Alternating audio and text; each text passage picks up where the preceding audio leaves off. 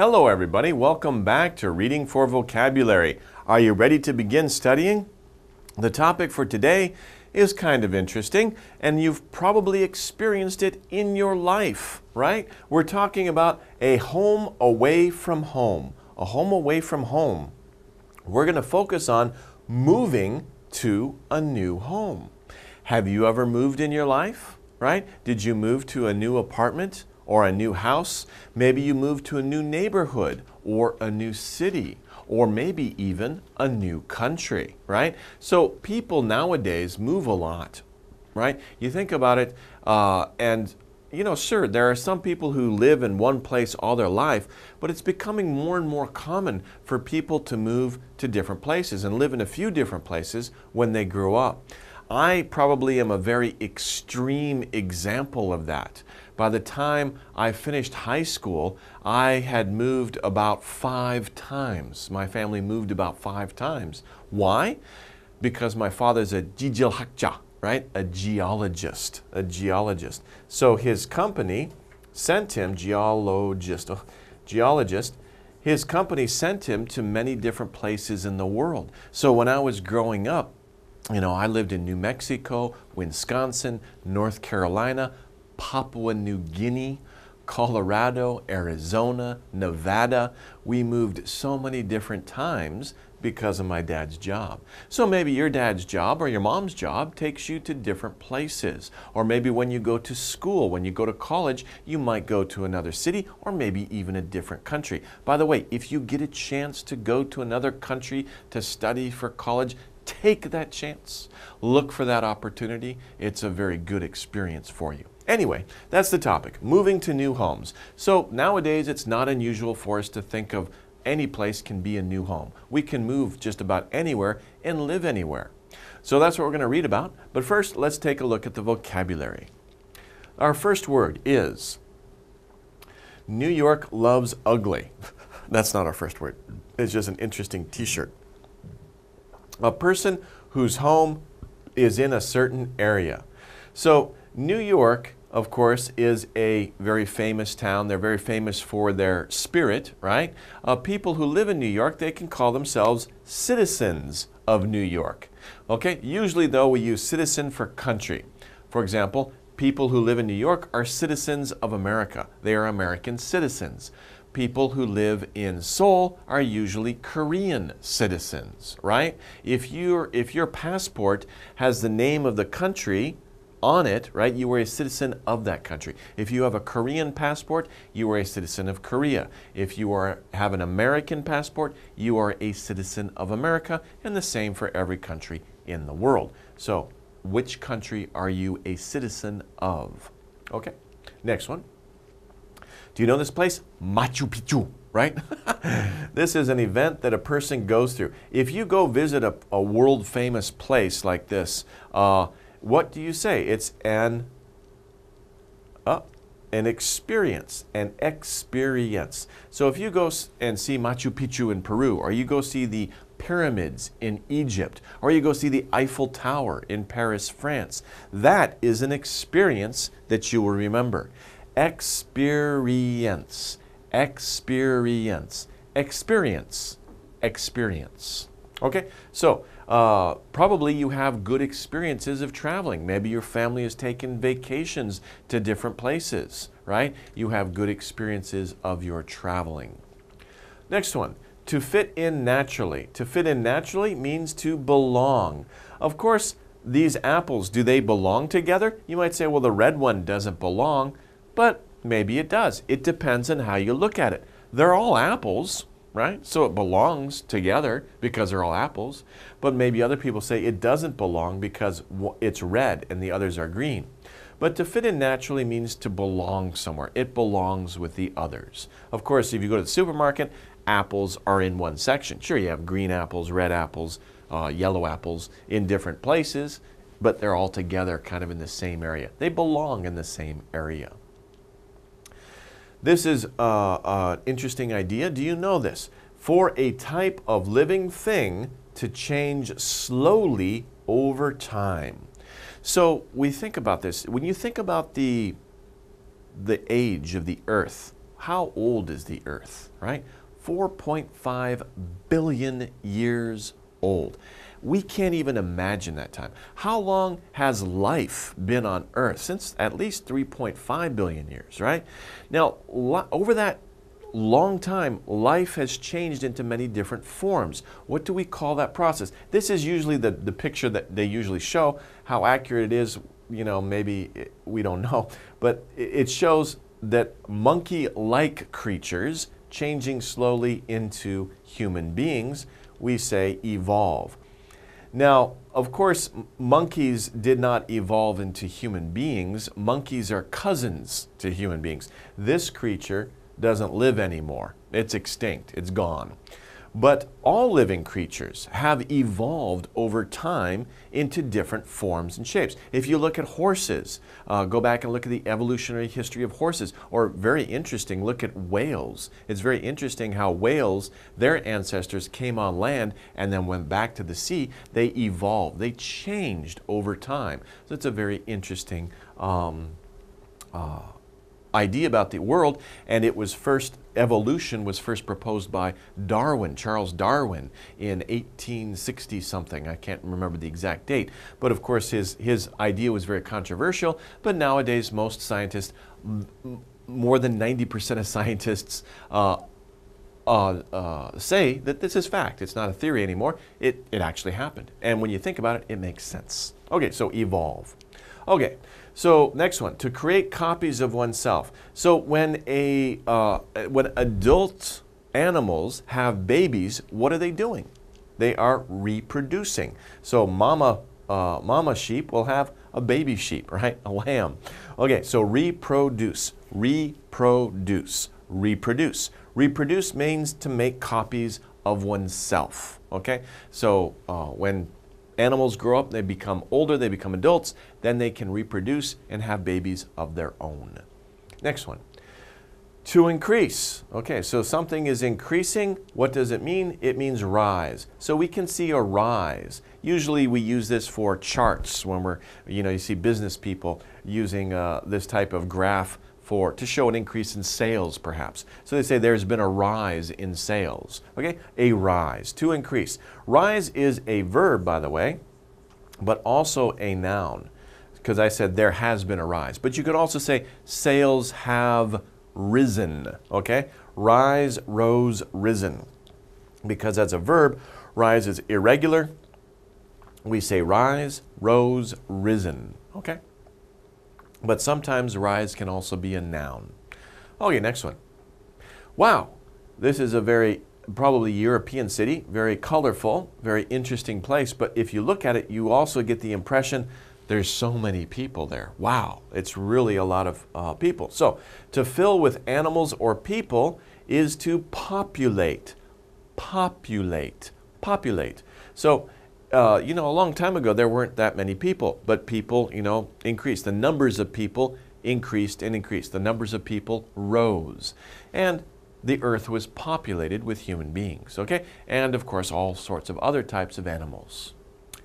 Next one a group of people sharing certain traits and beliefs. If we look at the American Indian here, we know that American Indians share certain beliefs and behaviors. They do the same things and they believe many different things. Of course, different tribes have different beliefs. I'm not saying all American Indians are the same, that's not true.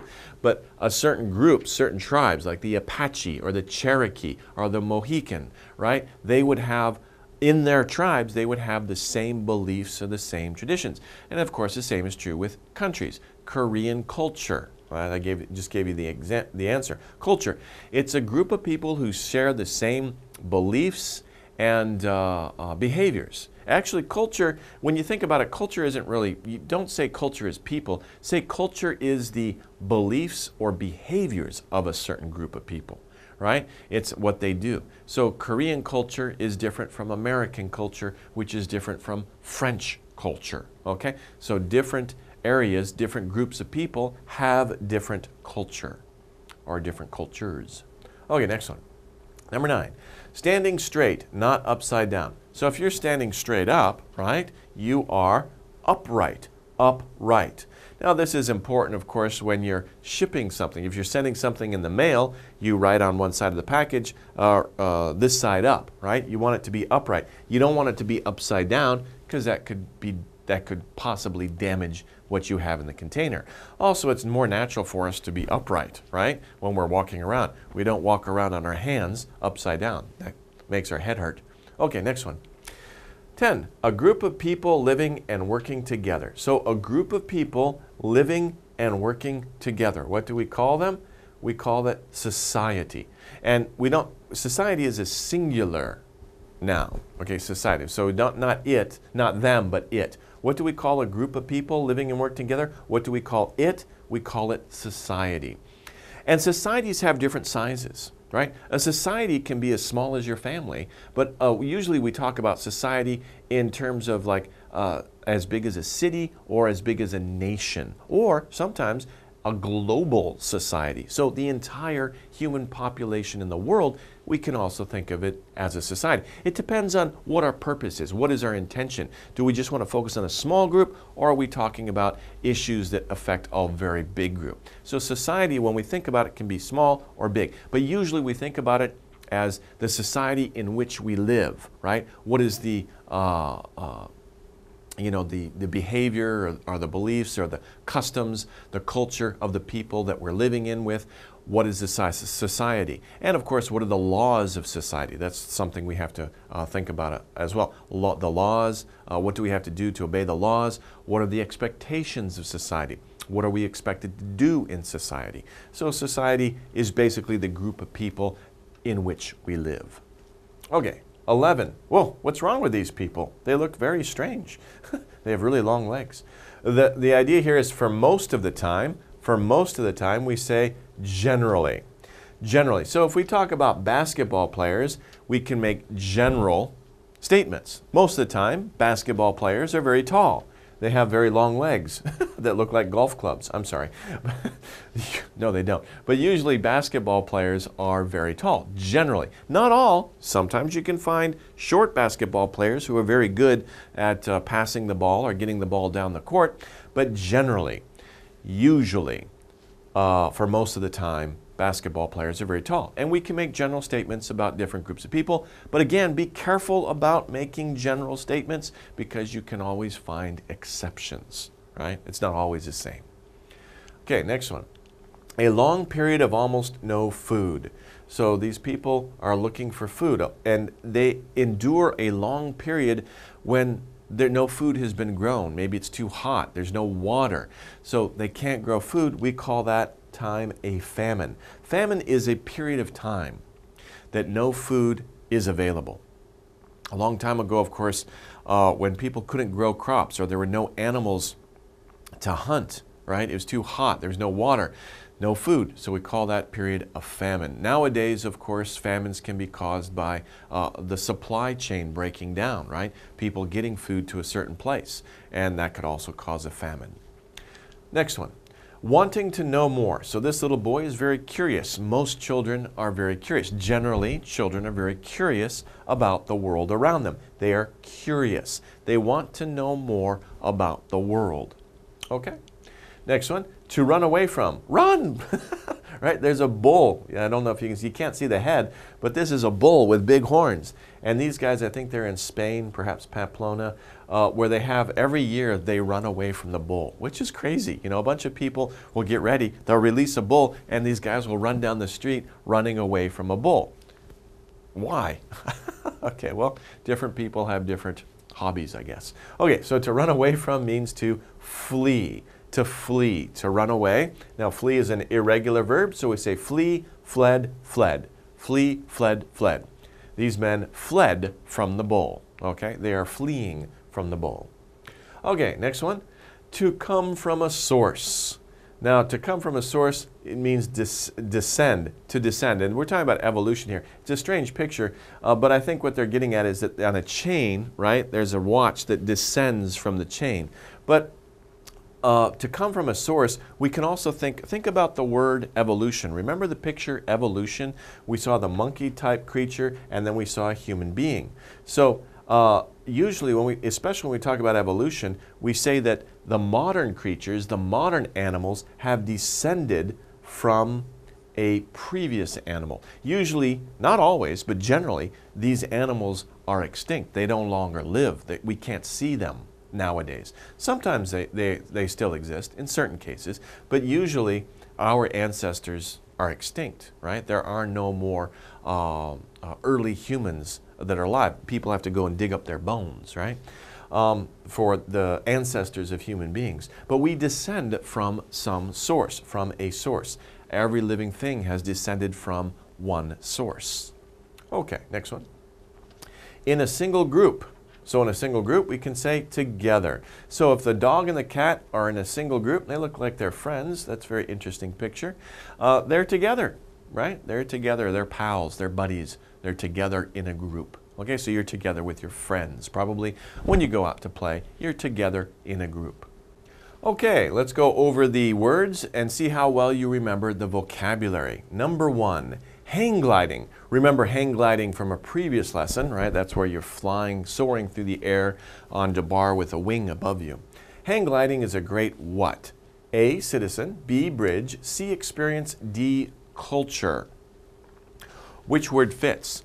Well, is hang gliding a great citizen? It's a citizen of a country? That doesn't make sense. Is it a great bridge?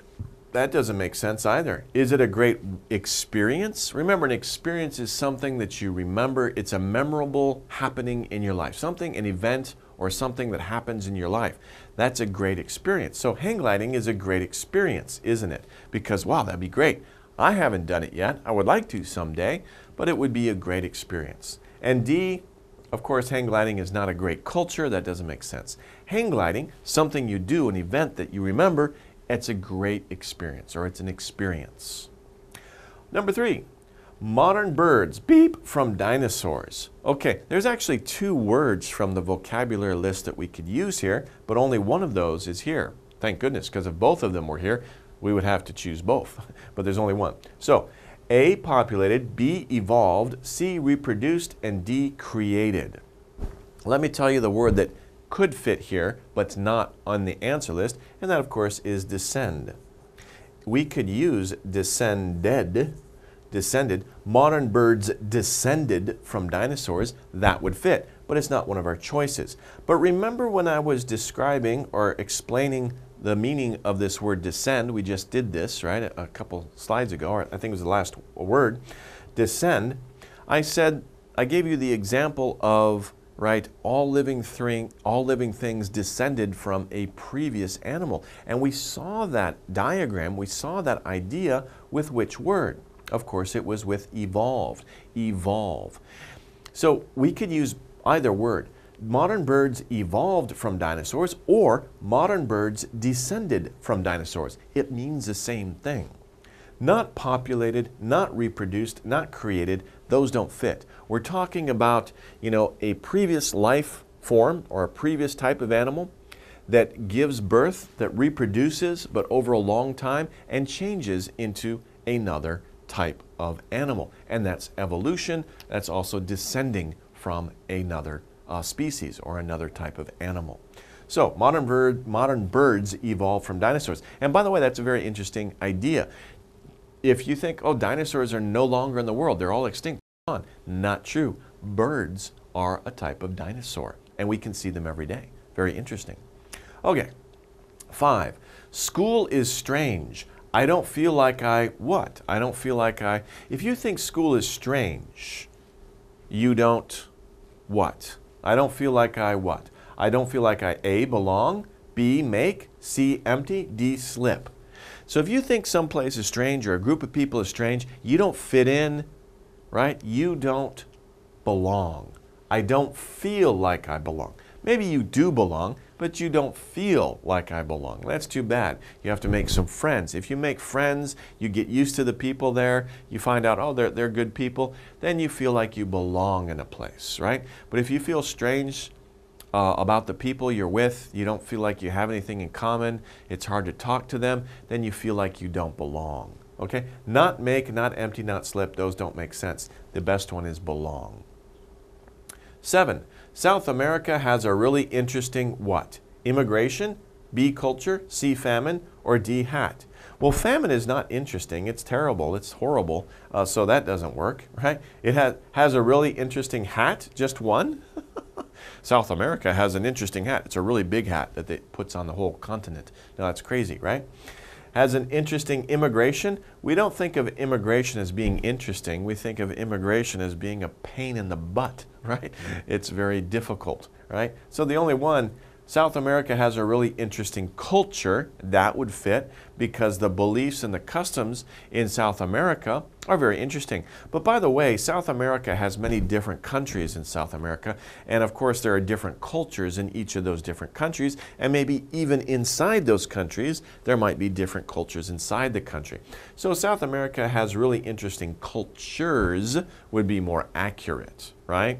But you could, if you're talking about all the, the culture or the, the same beliefs and behaviors that all people from South America seem to generally uh, show, then that could be possible too. But it'd be more accurate to say there are many different cultures in South America, and those cultures are interesting. Okay, that wraps up the vocabulary section of this lesson. Let's take a short break. We'll come back and look at the reading.